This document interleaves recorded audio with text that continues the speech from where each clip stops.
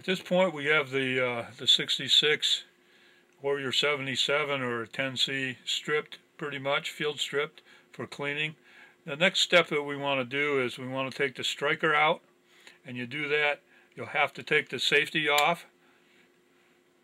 See the safety is off, push it forward and then you want to put your finger on the trigger but make sure that you hold the striker it's it's heavily spring loaded and it'll fly if you let it go and just let release that and pull that whole assembly right out you have this the striker the striker spring and the spring guide and we'll set those aside here now you can see that you get a little more open to get down in there to do some more cleaning if you want to. And for most part, that's as far as you need to go. If you want to go further, the next step you'll need another kind of tool, um, a pin punch or a or some kind of uh, device to get these pins out. And the next step would be to take the trigger guard off. The trigger guard is held on with one spring. It's plastic. I found it easier to pull it, push it out through the backside.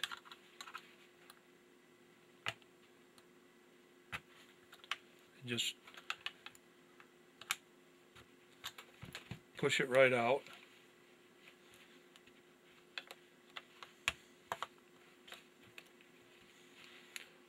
And then that just pulls right out. You see that there's a couple hooks on the back. That hook's in the back and it's held into place here. That gives you access to the bottom. Gets all the grit off the uh, trigger guard in the bottom and exposes the uh, metal parts that you'll need to to take out. So that's that would be your next step.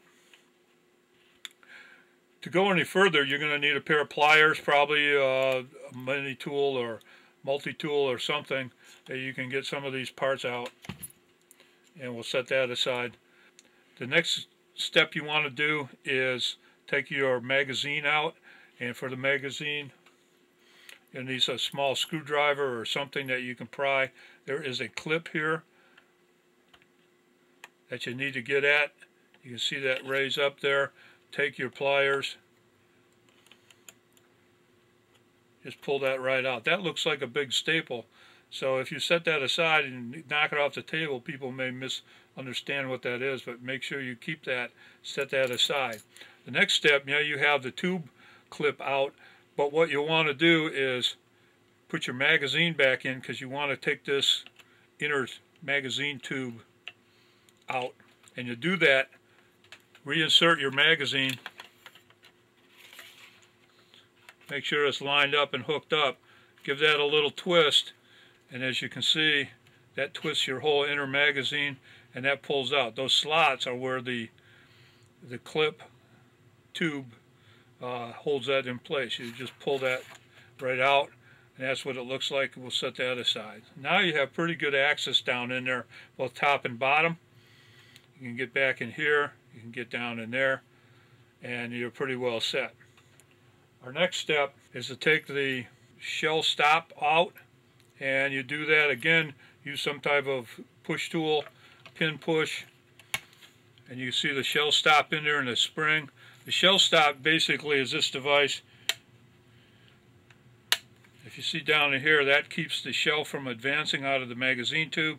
This uh, little arm here is what the bolt rides on. When the bolt goes back, it releases that, and that releases the shell. You do that, simply punch the, the pin out, pulls right out. You see the spring releases, and you have the shell stop and the spring, and we'll set those aside. You might want to put your uh, your pin back in there to hold it together. Now you have that device out. Now, what you have is a shell guide, and that just pushes simply pushes right out. Make sure you don't lose it. The shell lifter, shell throat bullet guide, that we'll set that aside. So you have the first front part of your rifle taken apart. Of course, if you have a 77 or a 10C, this is a detachable magazine, so this part isn't even in there, so you have to worry about it. We'll get back to this back part.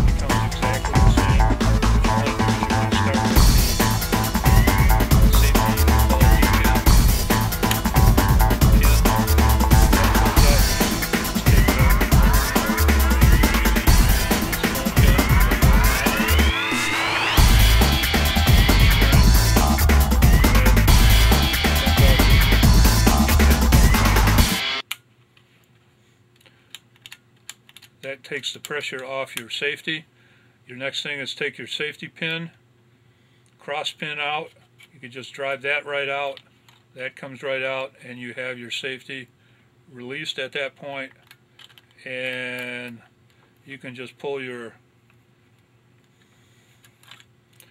your safety rod completely out. We'll set that apart. Now what that relieves, leaves us with is the sear and your disconnector and on the bottom your trigger mechanism and your disconnector pivot.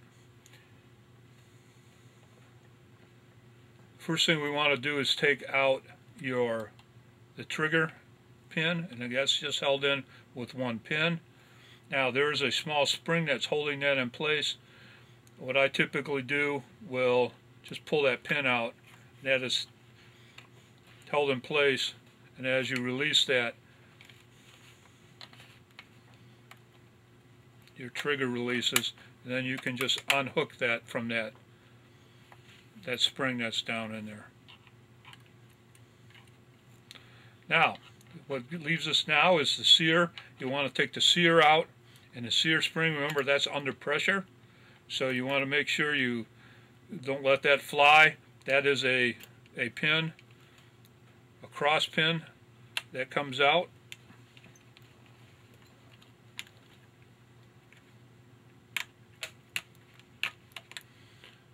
Hold that in place so you don't lose the spring.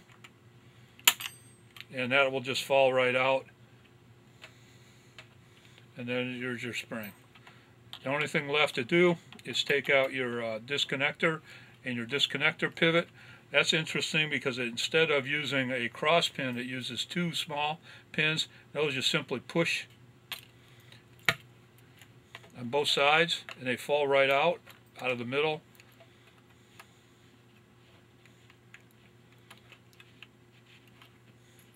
Use something to disconnect the spring.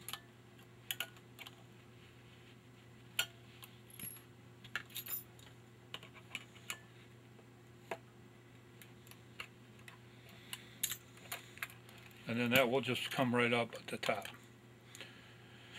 And there's your disconnector and your pivot and your two springs. You're pretty much done at this point. Everything is out of there. The only thing I didn't mention was sometimes if you get a stock uh, that you buy from somebody, it won't have these cross pins. There's two cross support pins in there that are with a uh, small nut. You can see a small nut and a pin, screw. You can take those out. I wouldn't take those out. Those are just supports to keep the st stock together should it crack or separate at the uh, the seam here. Now you're you're pretty much done. If you got um, your rifle to this point, you can do pretty thorough cleaning, wipe it down. You'll see there's lots of grit and grime in there, and you're in pretty good shape.